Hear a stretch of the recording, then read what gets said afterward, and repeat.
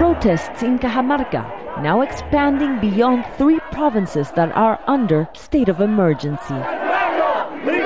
It's been nearly nine months since the rejection to the Conga gold and copper mining project turned violent.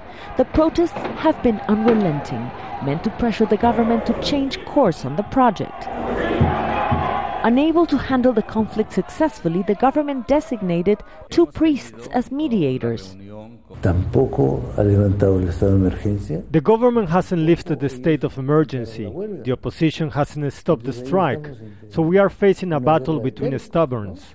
There has to be fairness in our work, because in the end we are talking about people's lives. But some analysts believe that a mediation may be tough, as the conflict has also become the arena for a political fight. We have three or four different radical groups fighting against themselves for the leadership of the Peruvian protest movement right now.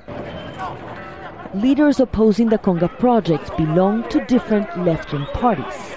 The series of fights over natural resources, hydroelectric dams, or infrastructure projects around the country are being influenced by the same political movements. Many analysts believe that the Conga conflict is the greatest challenge for President Ollanta Humala. He's not a seasoned politician, so they say he's learning how to deal with these types of situations as they happen. Humala has angered protesters by giving the Conga project a green light.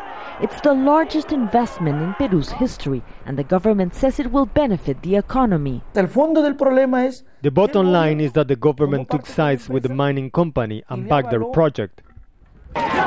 Some analysts say the government should take a neutral position. Humala is facing nearly 200 different conflicts, most in the mining industry. They have left 15 people dead this year. Conga is not important right now in political terms. Yes, but five simultaneous Congas would be very important and would probably create a, a very serious crisis. For now, the mediators have begun by asking all sides in the country for patience. They say a solution for the Conga conflict will take a long time.